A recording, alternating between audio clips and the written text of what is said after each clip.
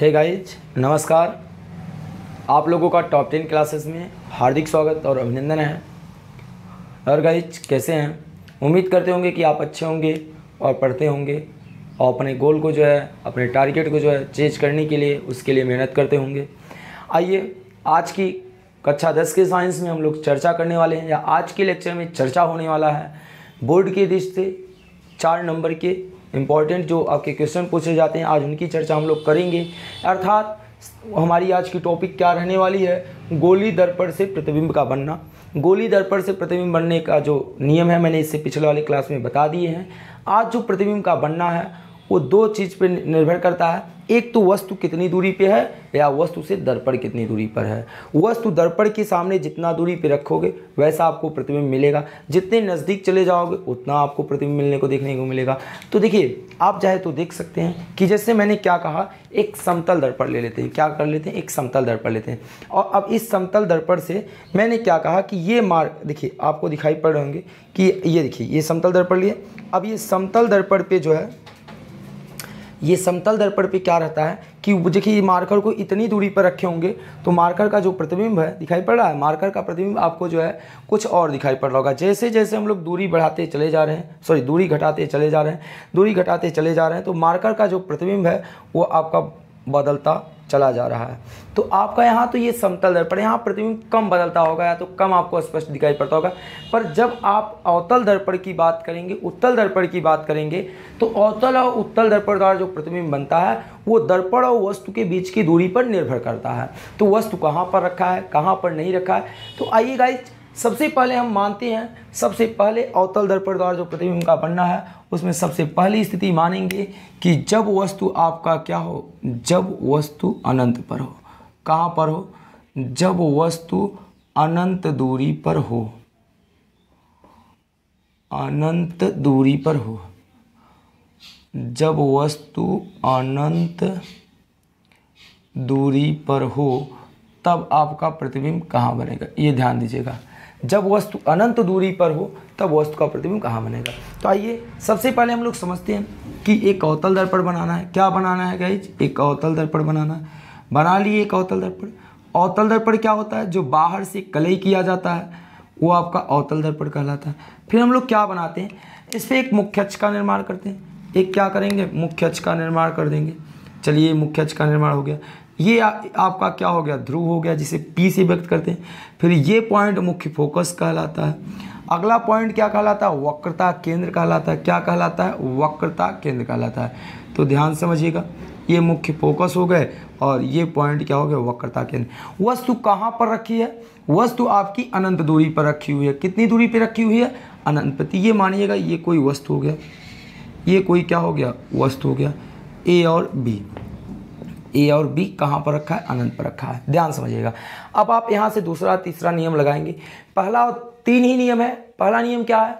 मुख्य अक्ष के समांतर चढ़ने वाली प्रकाश किरणें जब दर्पण से टकराती हैं तो टकराने के बाद मुख्य अक्ष के क्या सॉरी मुख्य फोकस से होकर गुजरती है।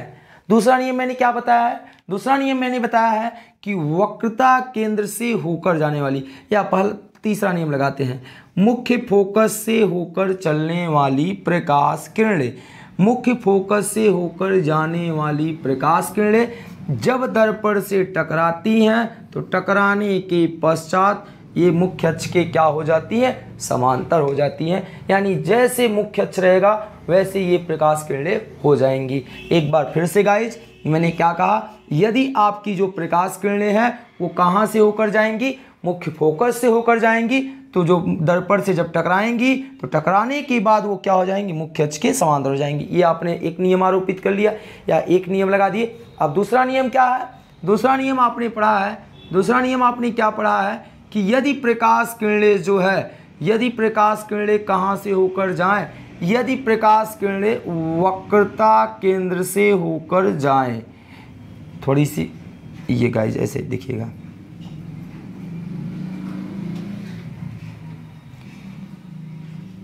यदि प्रकाश किरणें कहाँ से होके जाएँ? वक्रता केंद्र से होकर जाएँ।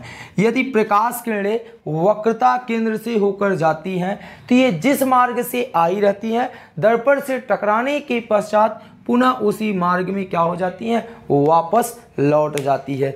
यदि प्रकाश किरणें वक्रता केंद्र से होकर जाती हैं तो जिस मार्ग से आई रहेंगी भैया, उसी मार्ग में लौट जाएँगी। तो ये देखिए, जिस मार्ग से आई थी, उसी मार्ग में लौट गई। तो ये जहाँ ये दोनों किरणें दोनों किरणें जहाँ एक दूसरे को काटती हैं वहीं वस्तु का क्या बनता है? प्रतिबिंब बनता है। ये दोनों किरणें जहाँ वस्तु को, जहाँ एक दूसरे को काटेंगी, वहीं इस वस्तु का क्या बनेगा? प्रतिबिंब बनेगा। तो ये प्रतिबिंब बन गया। तो ये प्रतिबिंब बना। तो देखिए, प्रतिबिंब क्या है? प्रतिबिंब का सिर ऊपर था। इस बार प्रतिबिंब का सिर नीचे हो गया, बी डैश हो गए। और जो प्रतिबिंब का ये नीचे वाला भाग था, वो ऊपर हो गया, ए डैश हो गया। तो जो प्रतिबिंब बना, वो ए डैश और बी डैश जो प्रतिबिंब बना, ये देखिए, वस्तु से क्या है? छोटा है। क्या है भैया? वस्तु से छोटा है, वस्तु क्या है? बड़ा है। देख लीजिए, ये जो बनने वाला प्रतिबिंब है, ये वस्तु से क्या है भैया? छोटा है और वस्तु से ये वस्तु क्या है बड़ा है। कहाँ बना है भैया? कहाँ बना है? मुख्य फोकस पर बना है। कहाँ पर बना है? मुख्य फोकस पे बना है। तो पहला पॉइंट लिखेंगे, पहला पॉइंट लिखेंगे। प्रतिबिंब प्रतिबिंब वस्तु से छोटा बनेगा।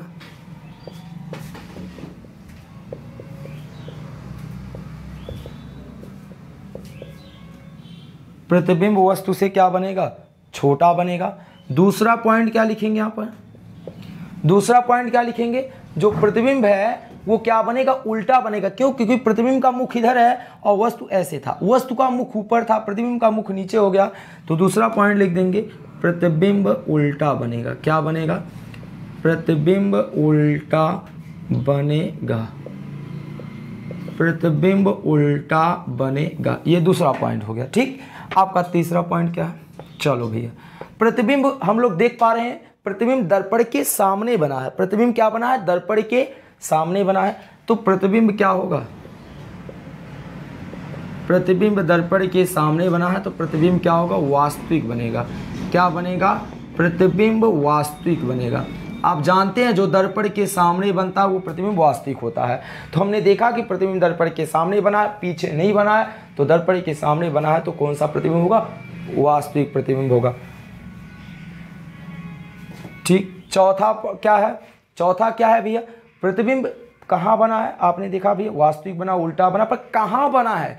अरे बताओ, अरे भैया, उनका घर यहाँ है। अरे कहाँ है? तो भाई देखो, कहाँ पर है? मुख्य फोकस पर बना है। कहाँ बना है? मुख्य फोकस पर तो लिखेंगे, प्रतिबिंब मुख्य फोकस पर बनेगा। किस पे बनेगा? मुख्य फोकस पर बनेगा। ठीक? तो इस प्रकार जब वस्तु कहाँ पर होगा? एक बार फिर से, जब वस्तु अनंत दूरी पर होगा, अवतल दर्पण से अनंत दूरी पर, चाहे जहाँ रख दो तो उस वस्तु का जो प्रतिबिंब होगा, सदैव वस्तु से क्या होगा? छोटा बनेगा। सदैव वस्तु से छोटा बनेगा, उल्टा बनेगा वास्तविक बनेगा और मुख्य फोकस पर बनेगा। तो इस प्रकार आपका जो पहली स्थिति है, उस स्थिति का जो डायग्राम है, इस प्रकार कंप्लीट हो जाता है। और डियर गाइज़ डियर स्टूडेंट अगर आपको ये डायग्राम आप लोग स्केल और पेंसिल की मदद से बनाते हैं तो हमारे जैसा जो है, ये आपका टेढ़ा नहीं बनेगा। आप इसका जो देखना चाहते हो आप यहाँ देख सकते हो। ये ये मैंने आपको पहले से बना के रखा है। ये आप लोग जब बनाओगे, देखिए क्या है, आपने अनंत दूरी पर वस्तु को रखा, इसको भी आप समझ लीजिए। अनंत दूरी पर रखे, इससे दो किरणें निकली। एक किरणें मुख्य फोकस से होकर गई, एक किरणें वक्रता केंद्र से होकर गई। तो जो मुख्य फोकस से होकर गई, वो मुख्य अक्ष के समांतर हो गई। ये देखिए, ये।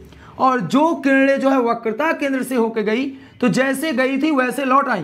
तो ये दोनों जहाँ एक दूसरे को काटी ये दोनों किरणें जो है एक दूसरे को जहाँ पर काटी, वहीं वस्तु का क्या बन गया? प्रतिबिंब बन गया। तो प्रतिबिंब देखिए ए डैश बी डैश बना है। तो ये ए डैश बी डैश इससे क्या है? छोटू, छोटा है ना? क्या भी है छोटा है।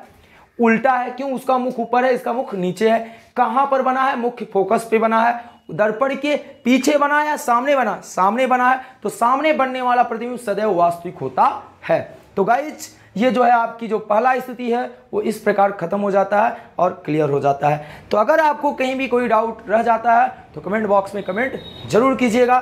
चलिए हम लोग आगे की स्थिति की चर्चा करते हैं। अब दूसरे जगह रखते हैं। वस्तु को अनंत पे न रख के अब उठाएँगे इसको और अनंत वक्रता केंद्र के बीच चाहे यहाँ चाहे यहाँ चाहे यहाँ, चाहे जहाँ पर रखेंगे तो देखेंगे उस वस्तु का प्रतिबिंब कहाँ बनता है। एक बार तो देख लिए कि अनंत दूरी पर हो, चाहे कोसो मील दूरी चाहे जहाँ हो तो उसका प्रतिबिंब इस प्रकार बनेगा।